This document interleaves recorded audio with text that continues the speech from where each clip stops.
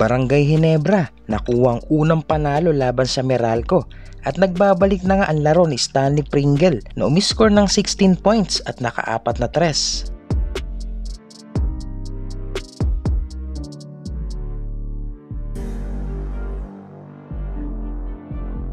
At ang best player ay si Scotty Thompson na isang rebound at assist na lang ay triple-double na at walang turnover. Si Justin Brownlee pa din ang nanguna sa Barangay Hinebra na may 34 points.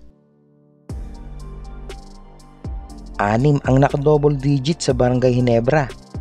Next assignment ng Barangay Hinebra ay Bay Area Dragon na hanggang ngayon ay wala pa ding talo. Bilang suporta at para updated ka na din sa mga susunod na laban ay huwag kalimutan mag-subscribe. This is End Time. Thank you for watching.